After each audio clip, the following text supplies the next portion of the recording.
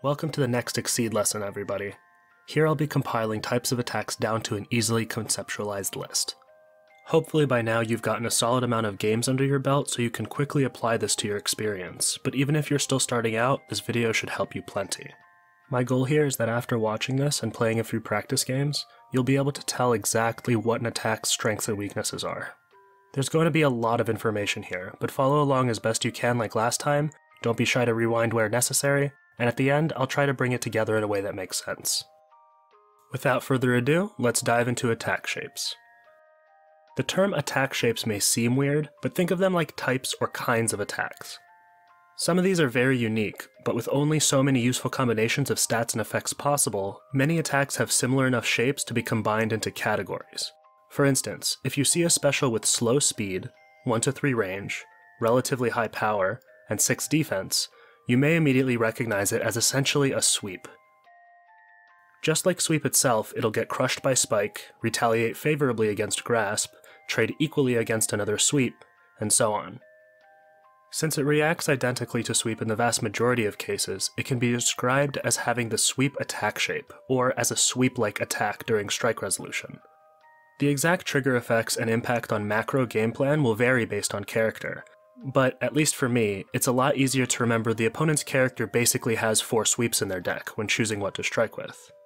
Here's another example. These attacks are all Assault likes. They are speed 5 ish, move forward 2, and strike at range 1 like Assault itself.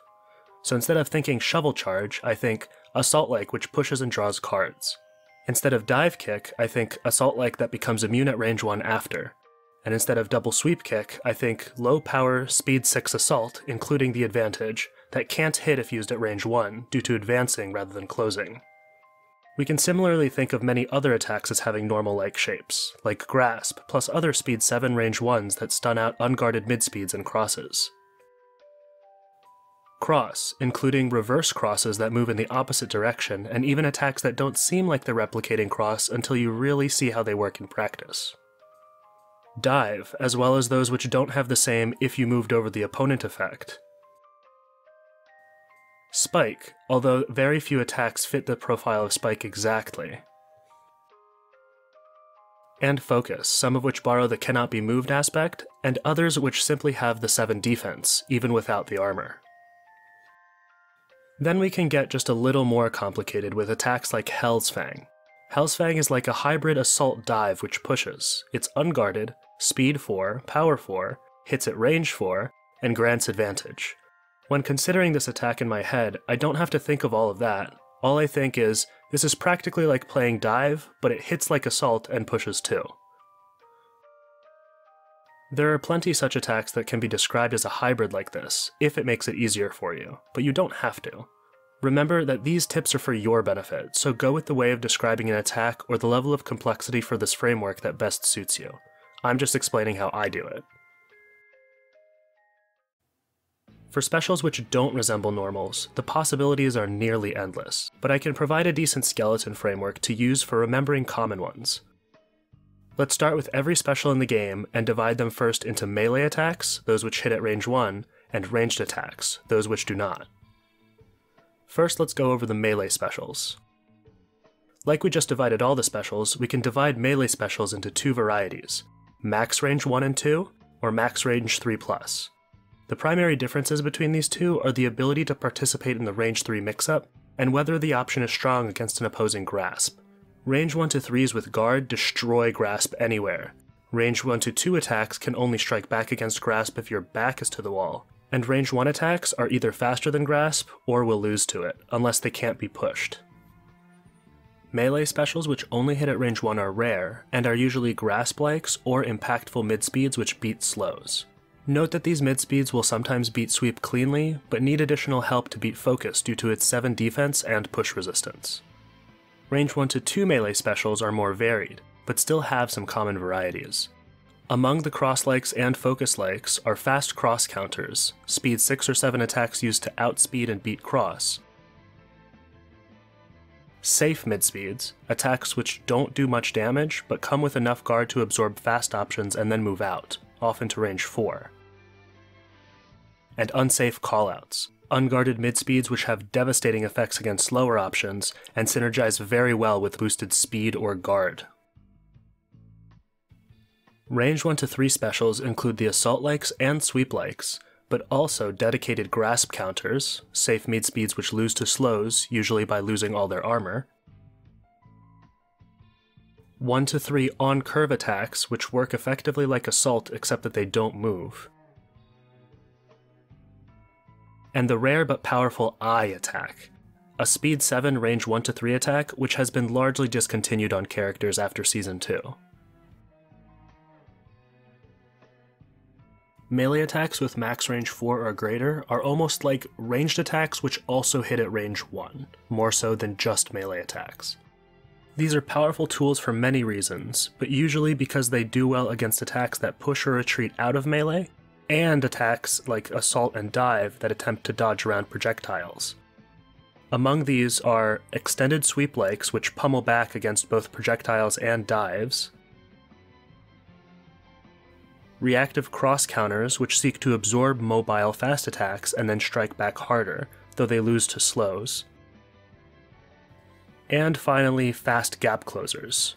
Although I don't consider fast gap closers to really be a melee attack, they're more so a ranged attack that moves you inward, since they're pretty bad when you play them in melee range. And that is a good segue to get right into the ranged specials.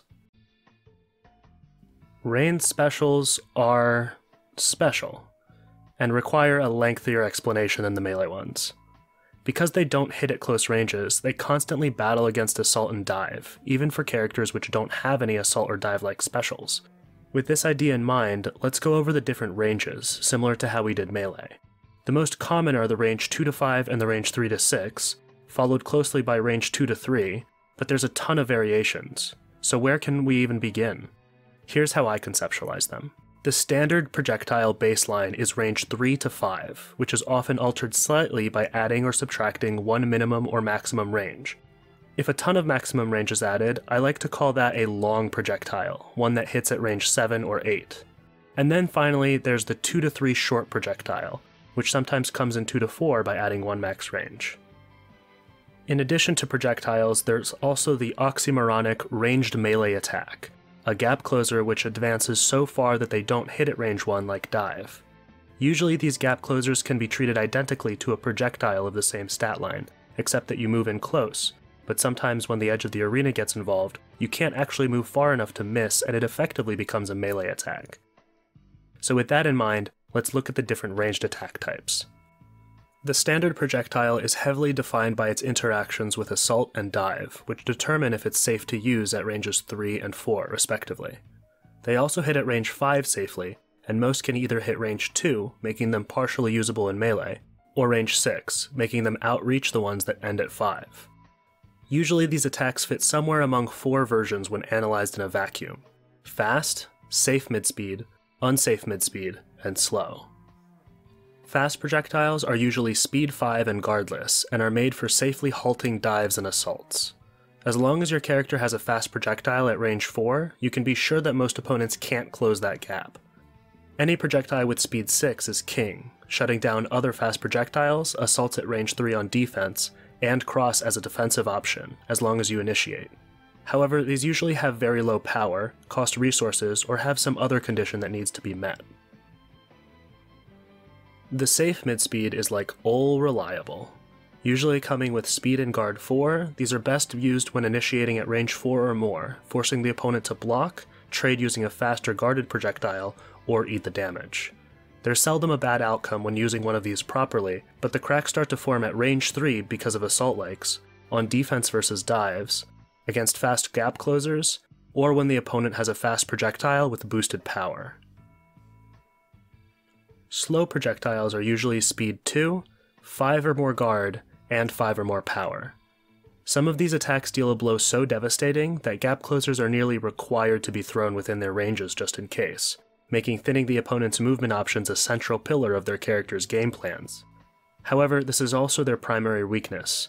They'll be punished heavily if you're not careful when striking with these slow projectiles. Unsafe mid speeds are typically speed 3 attacks made to stun slows or dodge them with a movement effect, much like their melee counterparts. However, their name can be misleading since they often resemble slow projectiles known for their sturdiness. That's because their unsafe quality doesn't have to come from losing to fast attacks, they can also lose to gap closers like the slows do. But the former exists too. One last thing to note is how range interacts with cross.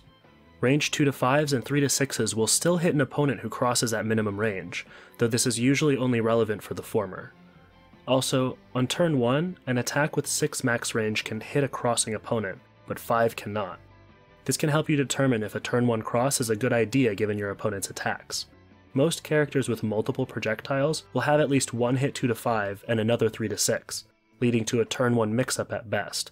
But some characters have no answer that will hit a turn 1 cross at all, giving you a get out of jail free card for that first strike. Finally, we have what I think of as long projectiles where an attack is either minimum range 4, making them easier to duck under even if you won't hit, or maximum range 7 or 8, allowing you to outrange the vast majority of opposing ranged attacks if you find yourself on opposite sides of the arena. For the most part, these still act just like standard projectiles in 90% of cases, but be aware of their existence and don't get too close to the corners against opponents who could abuse this. Next, we have the short projectile, typically range 2 to 3. You've likely already recognized this 2 to 3 range as being the same as spikes, and that's a crucial detail that affects the kinds of attacks we see here. These attacks naturally fit into the range 3 mix-up, and, like Spike, automatically lose to Assault or other gap closers that strike before them. Therefore, it's rare to see a proper slow attack with this profile, as it would lose to Assault, Dive, Spike, and at best trade with Sweep.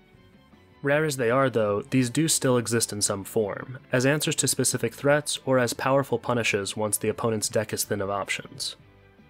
Most commonly, however, 2 to 3 projectiles are range 3 on curve or above curve options like these. Like their standard projectile cousins, these attacks are for calling out assaults and dives, so you'll typically find them on ranger characters geared more towards keeping away.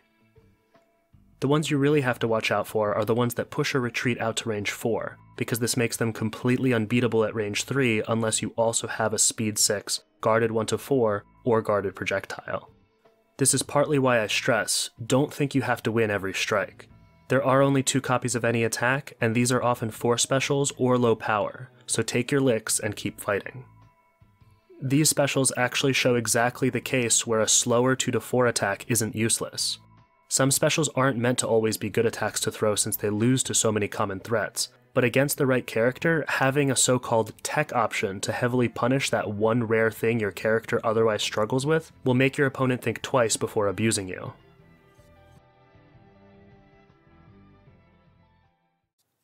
Lastly, I want to mention attacks which aren't designed to always hit, but rather to position yourself or dodge damage. Like using cross at range 3 to dodge away from an incoming assault despite not hitting, these attacks are made to reposition, even if they don't get you gauge.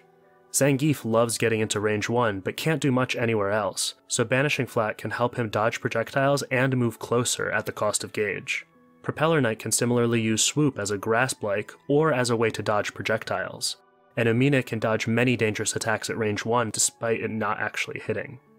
Range X do not hit you effects, and higher speed doesn't hit you effects are somewhat rare, but their existence is often game changing. They can allow characters to completely dominate certain ranges. They can be a disarming option against characters which have a dangerous boost in play, or they can cover a character's weak points, like moving past projectiles. And finally, there's just totally unique options.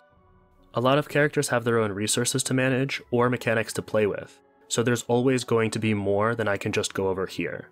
But you know, I did my best. That must have been a lot of information, but don't get pushed away, especially if you're relatively new. It'll take some playtime to really absorb and begin applying it all, and that's totally normal. With this framework, you can narrow the game space down to common attack shapes, modifications to those common attack shapes, and lastly, totally unique cards that you'll just have to memorize. I first tried to memorize every enemy attack and then compare every interaction to really understand what's going on, and it's tedious and demoralizing at best. Now that I can see an attack and think, oh, that's just a short projectile get out of jail free, like the one on that other character I play, except this one can push in addition to pull. Or, this is a 1 to 2 melee designed to beat sweep by pushing 2, but it won't be able to beat focus. This way, the game feels understandable, and my brain power gets used on strategy, not on calculating and memorizing outcomes.